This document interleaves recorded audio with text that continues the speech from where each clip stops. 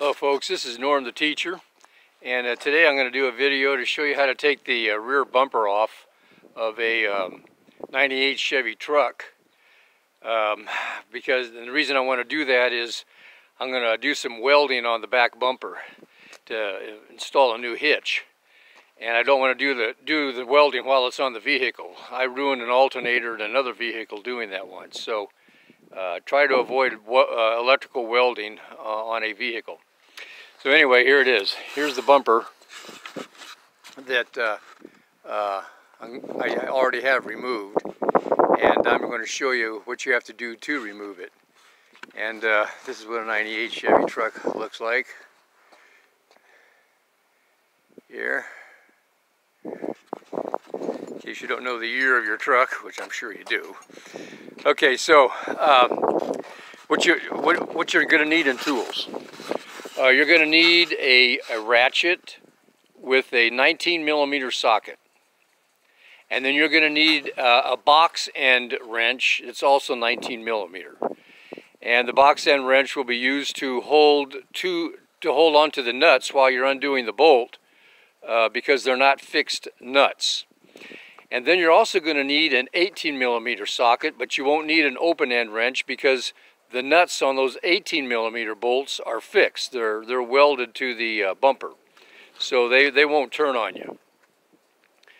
Okay, so uh, here's the bumper. Now here, okay, give you a in here. The two 18 millimeter bolts, there's actually four, two on each side. There's two of them right here, inside the bumper in here. Two 18 millimeter bolts. Those are the ones that have fixed nuts. And then, coming over here, there's a bracket here. It, it, looks like actually part of the frame, but it's actually a bracket that's attached to the frame. That, that extends into the bumper here, and that's where the two 19 millimeter bolts are. There are some bolts that hold this bracket on back onto the frame. Don't undo those bolts. Uh, you could do that do it that way but don't do it that way because it makes it a lot easier to put your bumper back on. If this is sticking out here when it's time to put the bumper on you can just lay the bumper on top of here and you have something supporting it. If you take the bolts off back there uh, you're going to have a heck of a time holding this thing up while trying to get the bolts uh, put back in. So again two 18 millimeters here two 19 millimeters here and then moving over here, again, here's the other bracket on the other side, the driver's side, two 19 millimeters here, two 18 millimeters here. And I'm going to get under here and uh, show you those bolts. Get my dolly here. Okay. Oh. Okay. Okie dokie. Okay, here we are. Okay, these are the two 18 millimeters I was telling you about at the end of the uh, bumper. I have to move things around here because I'm filming with two cameras. Okay, so what, uh, an 18 millimeter here and an 18 millimeter here with fixed nuts. Okay, then moving back here a little ways further, chain I got to get out of the way here. There's the bracket. Now here's these are the bolts I was telling you about that you could undo if you wanted to, but don't take the bracket off. Leave the bracket on so it sticks out and you have something to set the bumper on when it comes time to put it back on. So just remove the two 19 millimeter bolts here. And on the other side are the bolt heads. You'll have to hold uh, those bolt heads with the box end wrench um, so that it doesn't turn on you. Okay, then on the other side, same thing. Here's the uh, uh, 19, 219 millimeters on that side. Oh, and also uh, this electrical connector here will have to be undone. This is a this is the to the light uh, your license plate light. lights up your license plate light. Don't forget to undo that.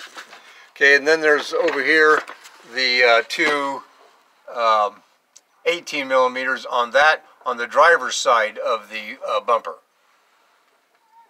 Okay. Okay. Okay, so, and then there, from underneath, there's my hitch. Okay, now let's see.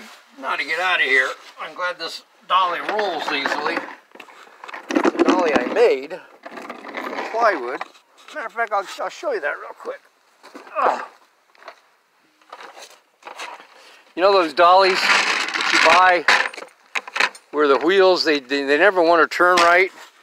Well, I made one out of plywood and I just uh, put, you know, casters, caster wheels on. Right here. And it works pretty well.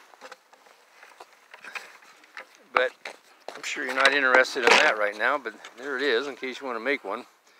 Made out of plywood. So there it is. Uh, okay, now uh, you might be wondering what this strap is. My tailgate, uh, the, the latch on the tailgate doesn't work anymore. The tailgate always falls open. So while I had the bumper off, I welded on uh, this um, U-bolt and uh, and now I have a hook here that I can put a strap on and I just attach the strap over here